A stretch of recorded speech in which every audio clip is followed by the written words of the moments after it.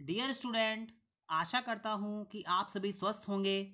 आज हम escape sequence in सी के बारे में स्टडी करेंगे और देखेंगे कि एस्केप सीक्वेंस का सी प्रोग्रामिंग में क्या यूज़ है। जितनी भी हमारी प्रोग्रामिंग लैंग्वेज हैं, चाहे सी हो सी प्लस प्लस हो जावा हो डॉट नेट हो सी शार्प हो, वहाँ पर एस्केप सीक्वेंस का यूज़ किया जाता है। जितनी भी हमारी प्रोग्रामिंग लैंग्वेजेस होती हैं, उन सबके पास में अपने करेक्टर सेट होते हैं। बट इन करेक्टर सेट के अलावा भी आप ऐसे सीक्वेंस का यूज़ करते हो, जिनकी हेल्प से हम ऐसे सिंबल्स का यूज़ कर सकते हैं, जो कि प्रोग्रामिंग में हमें डायरेक्टली इम्प्लीमेंट करना मुश्किल है। हम ये कह सकते हैं, ये जो सीक्वेंसेस होते हैं, इनका यूज़ हम प्रोग्रामिंग लैंग्वेजेस में करते हैं, जैसे कि हमारे पास में सी लैंग्वेज है और हमारे पास में सी प्लस प्लस लैंग्वेज है। नाउ स्टूडेंट्स एस्केप सीक्वेंस है क्या? अगर हम एस्केप सीक्वेंस की बात करें तो एस्केप का बेसिकली मतलब होता है एक निकास क्रम, यानी किस तरीके से हम अपनी प्रोग्रामिंग में ऐसे सिंबल्स का यूज़ कर सकेंगे जो कि हमारे पास में अवेलेबल नहीं है। And escape sequence is a sequence of characters यानी कि यहाँ पर भी हमने कैरेक्टर का सीक्वेंस यूज़ किया है that does not represent it इसका मतलब ये है कि जो सिंबल आप यहाँ पे यूज़ करेंगे उसका मीनिंग अलग होगा। आपने सपोज़ यहाँ पे आपने सपोज़ यहाँ पे ए यूज़ किया है तो उसका मीनिंग डिफरेंट हो जाएगा इंटरनली कंप्यूटर रिप्रेजेंटेशन में। नाउ स्टूडेंट्स जब भी हम सीक्वेंस का यूज़ किसी करेक्टर के साथ में या फिर हम स्ट्रिंग लिटरल के साथ में कर, देखिए लिटरल भी क्या होते हैं आपके? करेक्टर्स की तरह ही होते हैं। But is translated into another character यानी अगर आप इसका यूज़ एस्केप सीक्वेंस के साथ में करते हैं तो उसका मीनिंग चेंज हो जाता है और हमारे पास में एक दूसरा करेक्टर आता है। या फिर हम ये भी कह सकते हैं कि हमारे पास में एक दूसरा सीक्वेंस ऑफ़ करेक्टर आता है, जिसको कि प्रोग्रामिंग में इम्प्लीमेंट करना बहुत ही डिफ़िकल्ट है। या फिर हम ये कह सकते हैं कि इम्पॉसिबल है, हम ऐसे करेक्टर्स को डायरेक्टली अपने प्रोग्रामिंग में यूज़ कर सकें। तो हम ये कह सकते हैं कि जो एस्केप सीक्वेंस है हमारा, वो कॉम्बिनेशन है करेक्टर्स का। ऐसे कॉम्बिनेशन करेक्टर्स का, जिनका मीनिंग क्या होगा? डिफरेंट होगा, जिन करेक्टर्स को हम अपनी प्रोग्रामिंग में यूज़ करेंगे। इट मीन्स प्रोग्रामिंग लैंग्वेजेस में अगर आपको कुछ स्पेशल करेक्टर्स को रिप्रेजेंट करना है, जैसे कि आपको डबल कोट्स लगाना है, आपको कहीं पे कोई साउंड देना है, आपको कहीं पे कोई टैब लगाना है, ठीक है? टैब बेसिकली क्या होता है? फोर स्पेस का होता है। आपको कहीं पे वर्टिकल टैब लगाना है स्पेसिंग करनी है तो वहाँ पर हम एस्केप सीक्वेंस का यूज़ करेंगे, क्योंकि प्रोग्रामिंग में हम इसको डायरेक्टली इम्प्लीमेंट नहीं कर सकते हैं। तो एस्केप सीक्वेंस हमें हेल्प करते हैं ऐसे सिंबल्स का यूज़ करने में जिनको कि प्रोग्रामिंग में इम्प्लीमेंट करना थोड़ा सा मुश्किल होता है। नाउ स्टूडेंट्स अगर हम बात करें सी प्रोग्रामिंग की तो हमारे पास में 256 256 नंबर ऑफ़ कैरेक्टर्स हैं कैरेक्टर सेट में। अब जो हमारा करेक्टर सेट है, उसको दो पार्ट्स में डिवाइड किया गया है।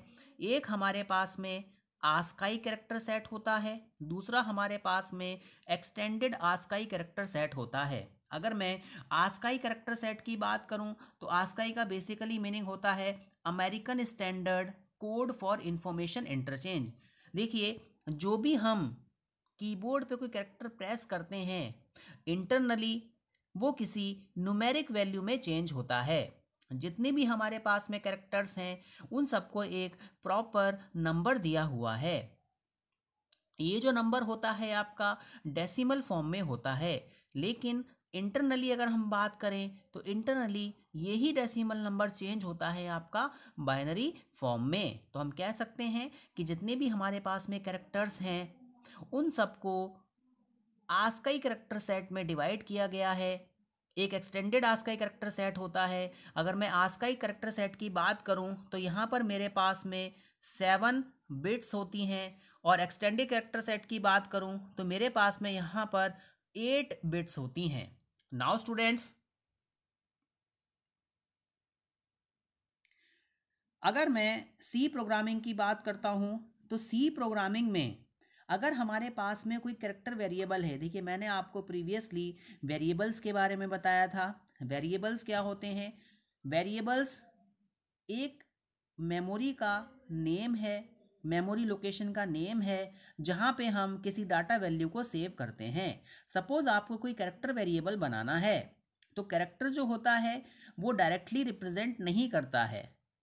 इंटरनली जो सी लैंग्वेज है, उसमें हम आस्काई सेट का यूज़ करते हैं। और आस्काई वैल्यू जो होती है, वो रिप्रेजेंट करती है आपकी करेक्टर वैल्यू को।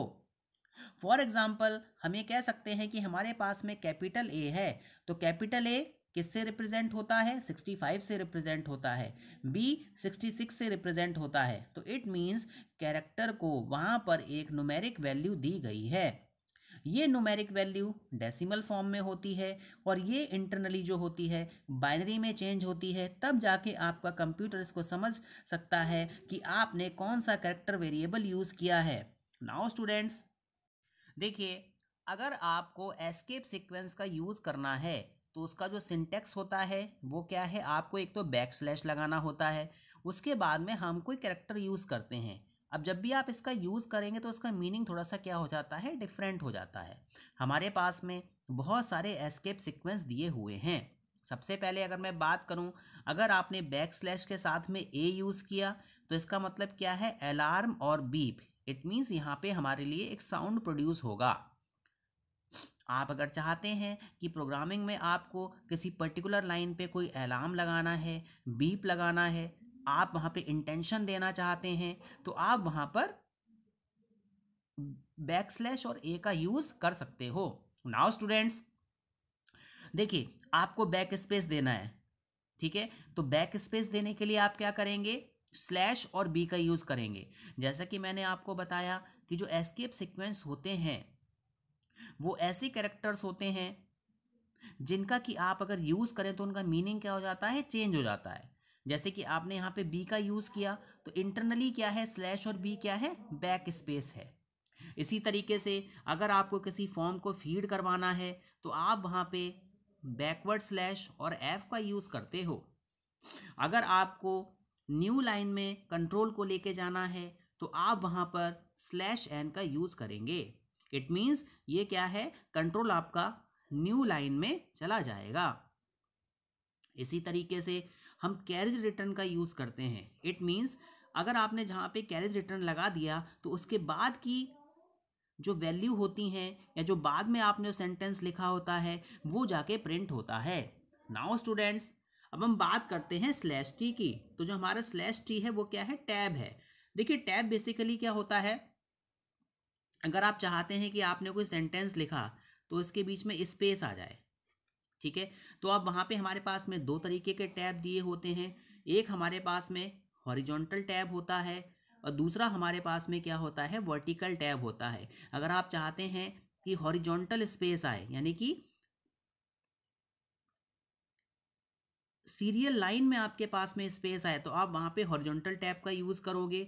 और अगर हम वर्टिकल टैब की बात करें तो वर्टिकल टैब किस तरीके का होता है? Top to bottom. अगर आप ये चाहते हैं कि आपको इस तरीके से स्पेस देना है, लाइंस के बीच में आपको स्पेस देना है तो आप वहाँ पे क्या करेंगे? वर्टिकल टैब का यूज़ करेंगे। नाउ स्टूडेंट्स, हमारे पास में अगर आप चाहते हो बैक स्लैश देखिए, एस्केप सीक्वेंस का एक यूज़ और भी है कि सपोज़ हमारे पास में कोई की वर्क नहीं कर रही है। सपोज़ आपको न्यू लाइन करेक्टर में लाइन को लेके जाना है और वहाँ पे एन आपका वर्क नहीं कर रहा है डायरेक्टली प्रोग्रामिंग में तो आप वहाँ पे स्लैश एन का यूज़ कर सकते हो। नाउ स्टूडेंट्स आपको डबल कोट्स लगाने हैं। सेंटेंस में मैंने आपको बताया कि जहाँ पर हमारे पास में स्ट्रिंग होती है, वहाँ पे हम क्या यूज़ करते हैं? डबल कोट्स का यूज़ करते हैं।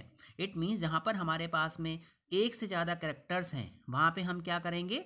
डबल कोट्स का यूज़ करेंगे। तो डबल कोट लगाने के लिए आपको यहाँ पे बैक स्लैश और डबल कोट्स लगाने पड़ते हैं तो ये प्रोग्रामिंग में जाके इम्प्लीमेंट होता है।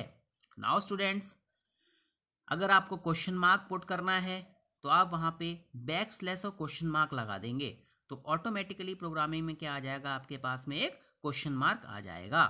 सपोज़ आपको किसी ऑक्टल नंबर को रिप्रेजेंट करना है तो आप वहाँ पर बैकवर्ड स्लैश बैक स्लैश लगा के ज़ीरो ज़ीरो ज़ीरो लिखेंगे। तो इससे क्या हो जाएगा? हमारे पास में ऑक्टल नंबर रिप्रेजेंटेशन हो जाएगा। आपको ये पता चल जाएगा कि ये क्या है, हमारा ऑक्टल नंबर है।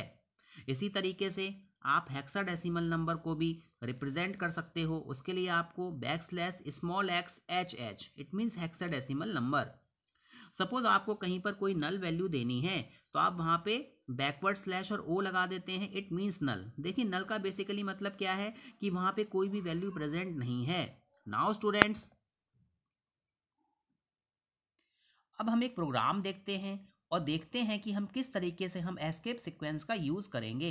देखिए, यहाँ पे जो प्रोग्राम बनाया गया है सी प्रोग्राम टू इलस्ट्रेट आपको क्या करना है?